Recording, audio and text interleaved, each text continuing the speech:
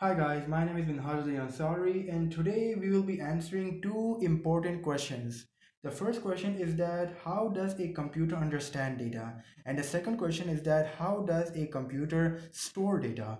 So we know that the computer cannot understand English. A computer can only understand uh, a computer can only understand ones and zeros and this is called binary digits and this is also called machine language.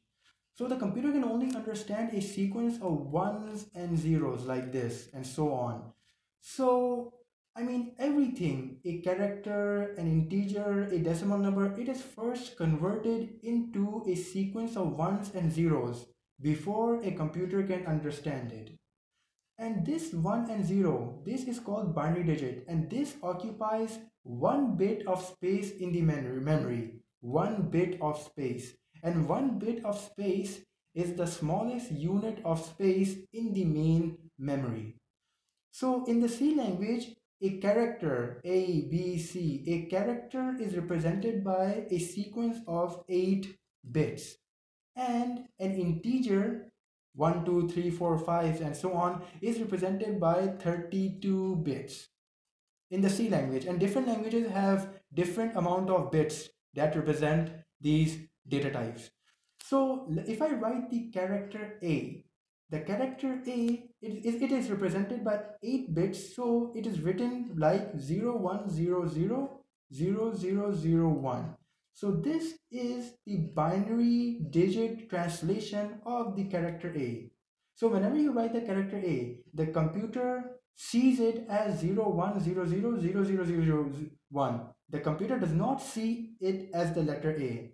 Similarly, if I write the letter B, the computer sees it as 01000010 and we will just shortly explain how to translate any character into its binary equivalent.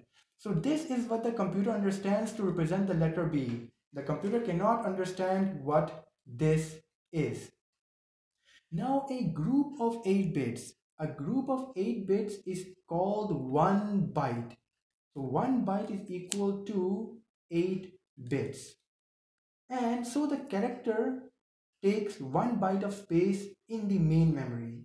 Similarly, integer takes up 4 bytes of space and which is equal to 32 bits in the main memory.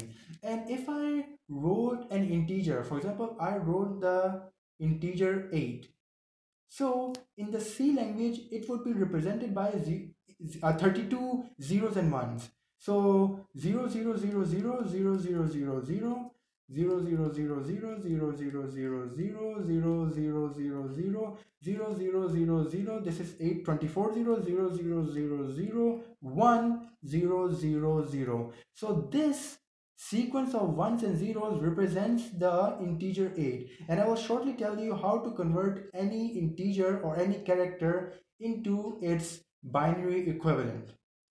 So now let me first write an example here 0010. What does this, what number does this binary sequence represent? So I'm going to tell you how to do that. You simply have to multiply each digit with a power of 2 and increment the power of 2. So starting from the right side, the first digit is 0. So you multiply it with the first power of 2 which is 0. And then the second digit is 1. So you multiply the second digit with the second power of 2 which is 1. And similarly you multiply 0 with 2 power 2 and 0 with 2 power 3. So you are incrementing it first, second, third, fourth. You're incrementing the power of 2 and you are also multiplying it with the digit right here.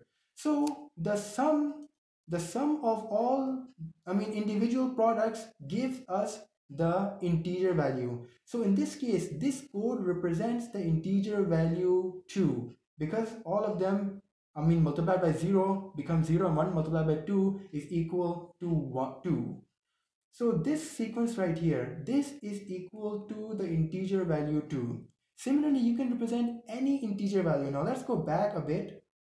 Right here, since an integer value is represented by 32 bits in the C language.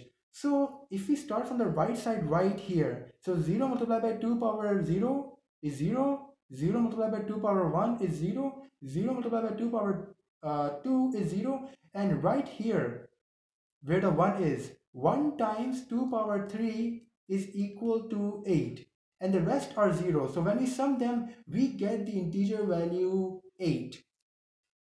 So this is how integers are represented in the C language. And now you might be wondering that, okay, integers are represented by ones and zeros, but how to represent characters A, B, C's in ones and zeros? Because these aren't integers, these are characters. so the C language uses something called the ASCII code to represent characters A, B, and C, and so on.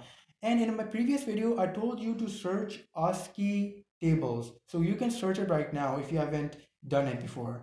The ASCII table, I mean, basically the ASCII table has ASCII codes for letters and characters.